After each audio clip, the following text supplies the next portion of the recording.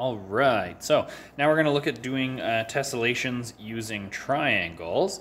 Now it should work for any triangle that you have. An equilateral triangle is going to be the easiest, of course, because we know that that one tessellates. But what if we had a triangle that doesn't have three equal sides and three equal angles? So I've cut one out here. Again, I've labeled uh, uh, my corners, my vertices as one, two, three. And there's two different ways that I can tessellate this. So I'm going to show you how to do both methods. Obviously, first we have to start by at least tracing one of the triangles. So I'm going to trace it on here. Okay. And again, on my drawing, I'll try and label it uh, one, two, and three. So I got one, two, three. And I'm going to label my triangle on here as well using those same things. You might want to draw it a little bit lighter on yours so that it's easier to erase afterwards. So what I'm going to do is just like with quadrilaterals, I'm going to rotate this triangle. Now it doesn't matter which side I pick. How about I pick this 2-3 side? So I'm going to kind of go right in the middle and I'm going to spin it 180 degrees, perform that rotation so that now 2 and 3 are next to each other and the th 2 and 3 here are next to each other. Okay, so those two shapes are still congruent.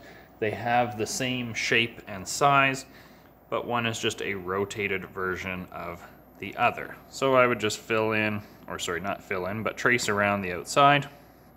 Okay, and I would write in now, so I had my 2 was down at the bottom, my 1 is in the top corner here, and my 3 has moved up top. Okay, and now if I was to take that triangle again, and let's say I rotate it on this 1, 2 side. Okay, so again, I kind of put my finger in the middle, and I rotate 180 degrees, which means I spin it all the way around. And then here, along the bottom, my 1 goes in the bottom part here, 3 in my other bottom corner, and 2 is now up top. So I've got 1, 2, and 3. And so we see that I've really just slid this shape across. Okay, it's in exactly the same spot, so I can do that translation to slide it from one space to the next. Okay, now the other thing you might want to note is down here in the bottom corner, I've got angle 3 and angle 2 and angle 1 are all joined together. That's important because in a triangle, the total angles is 180 degrees. Okay, well, yes, one, two, three, my total triangle angles here is going to be 180 degrees.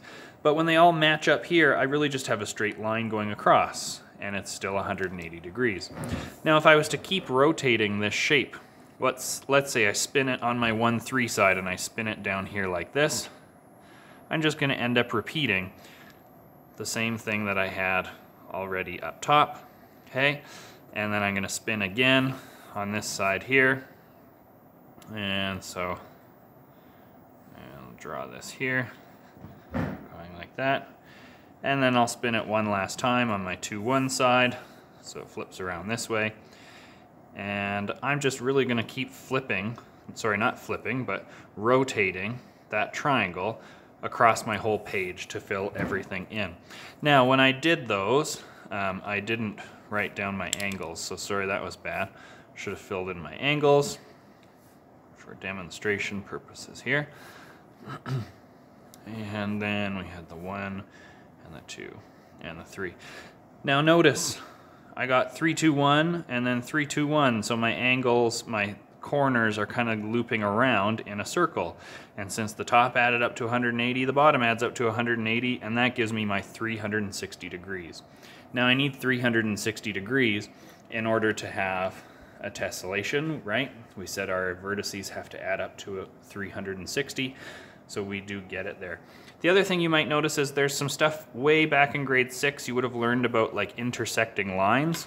So if I was to just take this here and I was to say this blue line is intersecting with this red line, you might have learned back in grade six that these two opposite angles here should be the same. And if you look in our tessellation, they are because all we've done is rotating. So we actually get lots of cool geometry that you've been doing for a while um, in this one here. So here's what it would look like if I colored it all in.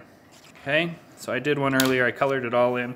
So here we go, I had my triangle starts off there and all the red ones can slide and translate into all of the other red ones Okay, so it's a translation to go from any red triangle to any other red triangle. Nothing changes.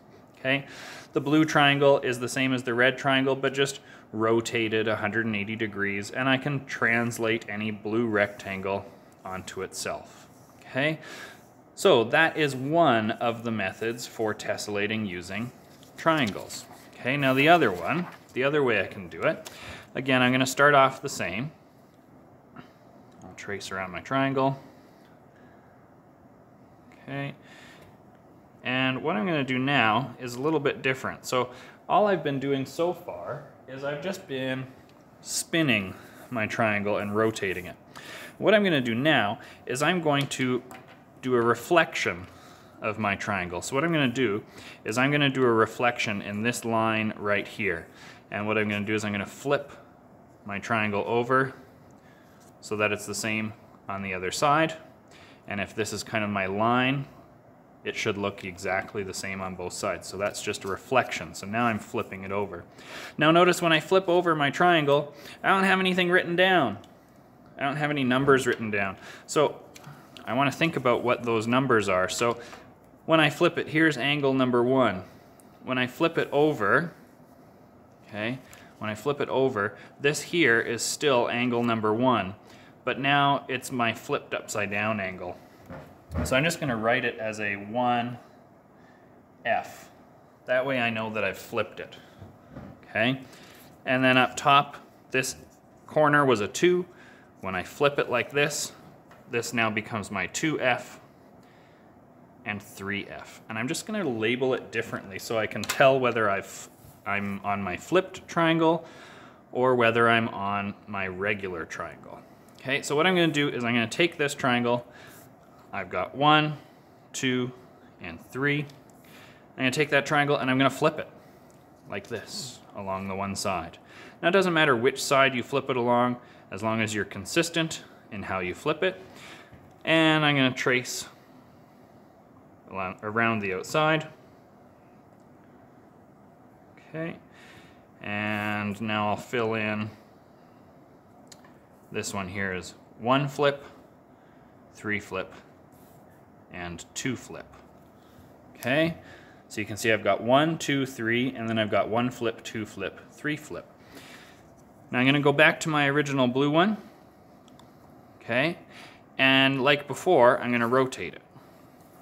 Similar to how I did in the last one, so that along this 2-3 side, I'm just going to switch it so that my 2 and 3 meet up together. I'll trace along the outside. Okay, and this gives me now my two moves down here, my three moves up there, my one moves there.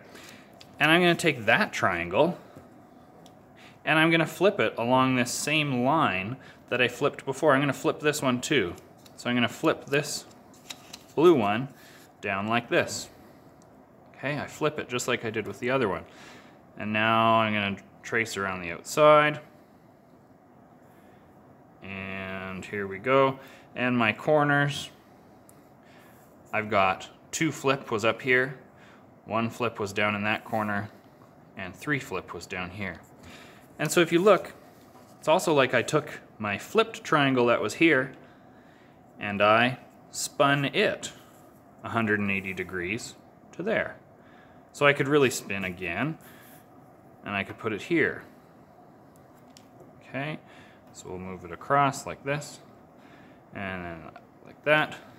And then I can flip it from this section back up into the top.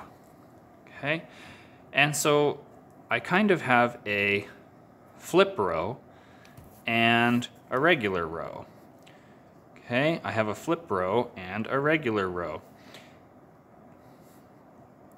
Okay, and as I have this one, if I wanted to continue my pattern up, since this is just my regular row going across, when I move up into the next section, my next row up top now needs to be a flipped row. And so I'm going to have a flip row going across the top here. And so really I'm rotating and flipping and rotating and flipping and rotating and flipping. Okay? And that's all I'm doing to create my tessellation. Now, I don't want to draw all of this out for you, okay? But again, you might notice going across here, I've got angle 3, angle 2, angle 1. Adding all those together is going to give me 180 degrees. I have angle 1 flip, which is the same as angle 1. I have angle 2 flip, which is the same as angle 2. And 3 flip, which is the same as angle 3. That's also 180 degrees, so I'm still getting the 360 degrees at any vertex. Okay, so that's why this one still works. Now, I did draw this one out and I colored it a little bit differently than I have in the other ones. Okay, I colored this one differently to show, here's my original one. These red rectangles are the original orientation where I've got one, two, three. And I can slide to any other red triangle. Okay, I can do a translation onto any other red triangle. Okay, but to get it to turn into an orange one, if I try to slide onto the orange triangle, it doesn't work. See, I can see a little bit of the orange. I can tell that my red one doesn't slide perfectly into the orange one. Okay, the red one only translates to red ones. All right, the green is the red ones flipped over. Okay, so greens are my red ones flipped over. And I chose red and green on purpose. Red is a primary color, green's a secondary color, and green is the complementary color of red. So if I take my red one and I flip it onto the green one, all my greens can translate to any other greens. Okay? The green ones do not translate onto the blue ones. Look, if I try to match up my corners, look, you can still see some blue here. The green ones do not translate onto the blue ones. That's because my blue ones are in my regular row. So if I rotated my triangle, there we go, I've now put it onto the blue ones. The blue ones translate to any of the blue ones. The blue ones do not translate to the green ones. Okay? Now, the blue one, primary color, right? In my regular row. Red and blue were my primaries in my regular row. The opposite of blue, the complementary color, is orange. So blue flips onto the orange one. And then the oranges translate onto one another. So I just did different colors here to kind of show what was going on. So I used my primary colors of um, blue and red going across and I can see that I screwed this one up. It should be red, so just pretend that one's red. I'm not refilming the whole video, not worth it, okay? But blue and red, okay, are my primaries. That was when my triangle was in its original orientation. When I flipped it over and I was on my flip angles, that's my secondary colors of green and orange. Now red and green are complementary colors, so that's why they are the reverse of one another, and that's why I colored them like that. And then blue and orange are complementary colors, and they are the flip of one another. Okay? So there's two different ways for doing tessellations using triangles, where either you're just rotating every single time to go from one to the other. Everything's just a rotation. You can spin your triangle as many times as you like. Just match up equal sides. Okay. If you are going to flip your triangle over, okay, make sure that you are recording it as a flip in your corners. So make sure you maybe write something down like one flip, two flip, three flip, so it makes it easier for you to keep keep track of. Okay, and that's tessellations using triangles.